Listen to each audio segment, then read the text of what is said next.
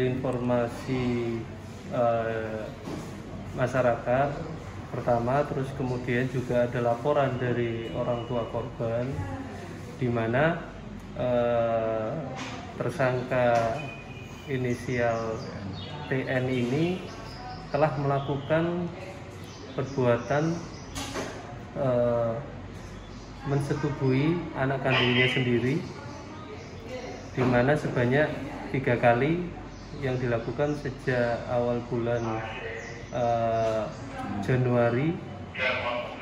Kemudian eh,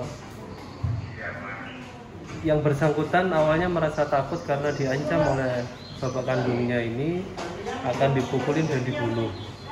Namun karena sudah tiga kali dilakukan persetubuhan akhirnya yang bersangkutan eh, bercerita kepada saudaranya dan kemudian keluarganya melaporkan kepada ibunya dan ibunya akhirnya membuat laporan di Polres Jombang. dilakukan di mana saja?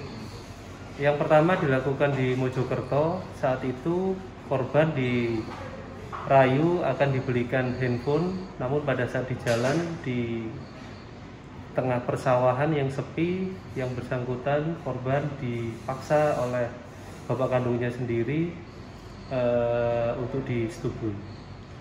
Kemudian yang selanjutnya dilakukan di rumah saat rumah kosong. Dan motifnya apa sebenarnya kok tega sama anak kandung?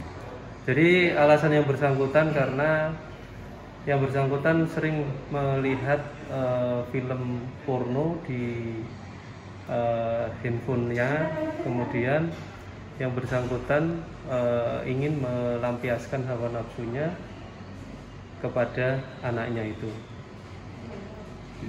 Pasal?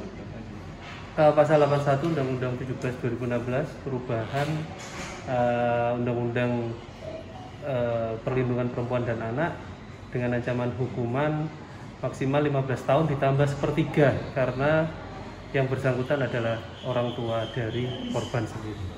Tidak ada pertimbangan untuk eh, hukuman kebiri. Eh, untuk kebiri korbannya harus lebih dari satu.